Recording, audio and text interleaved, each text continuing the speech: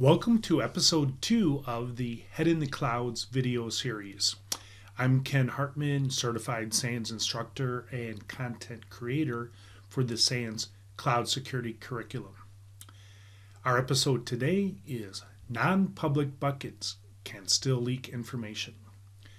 We've all heard the horror stories about misconfigured Amazon S3 buckets that expose millions of customer records and other sensitive information.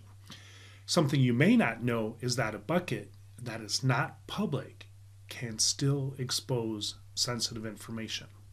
How? By the name of the bucket.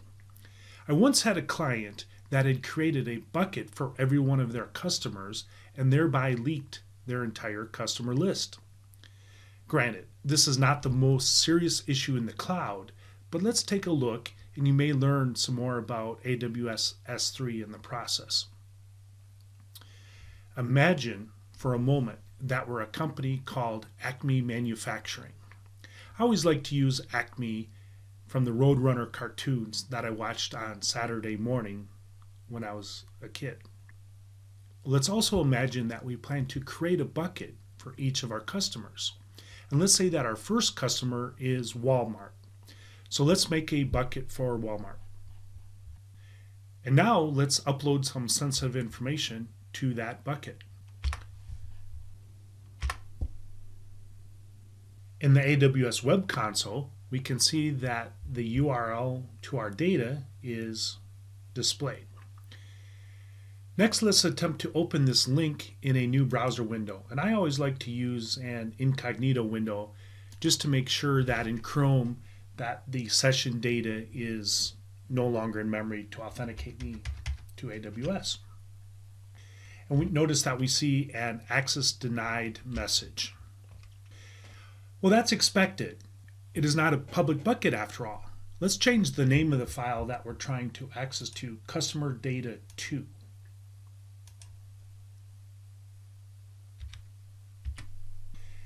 That also shows that access is denied. Let's try by removing the file name from the URL.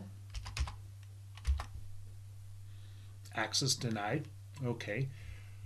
But what if we change the name of the bucket? Let's change it from Walmart to Kmart. Now here we're seeing that it says that the specified bucket does not exist. Interesting.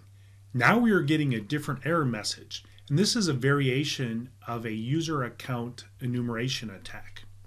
For more information, I've included a hyperlink to the OWASP, the Open Web Application Security Project, that discusses testing for account enumeration and guessable user accounts. But in this case, what we're doing is we're guessing for the existence of specific bucket names. Because we can get different error messages, we now have a means to enumerate the buckets for customer names. Rather than using a browser, let's use curl. There's our access denied message. Now let's try it with Kmart. Ah, a 404 not found error. So note that the HTTP response codes are different. We can tweak our command to return just the HTTP response code.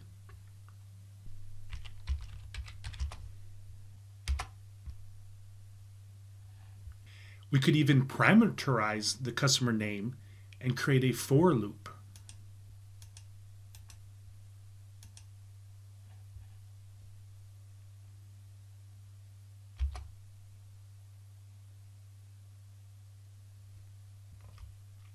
Interesting. We can see the expected response codes for Kmart and Walmart, but it looked like Acme made their Walgreens bucket public. And what's going on with the Acme customers Aldi bucket? Well, let's run the curl command again and fetch the complete response for Aldi.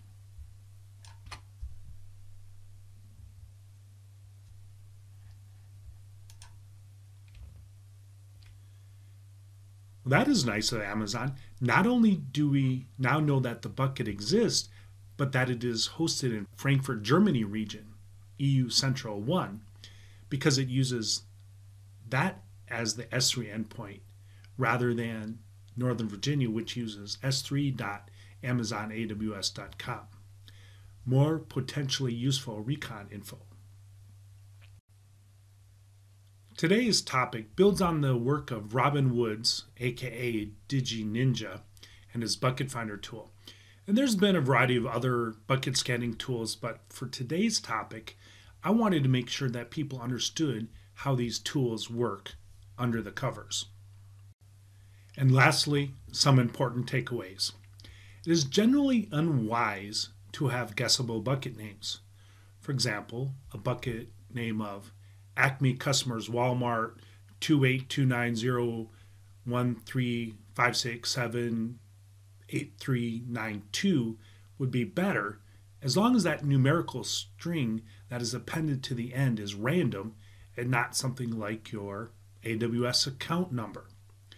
It would also be better to avoid using meaningful words altogether, names such as Acme, Walmart, or even customers for bucket names. Remember that you can always use tags, and tags are not exposed via DNS. After all, there's nothing wrong with a bucket named CX28102384, assuming that it is unique across the global namespace. If you do want to have meaningful names and phrases, do that at the folder level inside a bucket as folders are not exposed by default, like bucket names are. And lastly, remember that just because a bucket name contains the name of a well known company doesn't mean that the bucket is controlled by that company. In the examples that I used in today's talk, I created buckets for a few top retailers, even though I have no affiliation with any of them. And that's it for today's episode.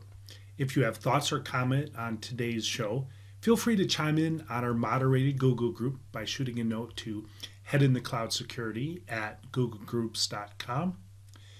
Tune in next time for another installment of Head in the Clouds as announcements of new episodes are made on the SANS Cloud Security Twitter feed. And meanwhile, be sure to check out the other great videos that SANS has to offer on the SANS Cloud Security YouTube channel. Take care.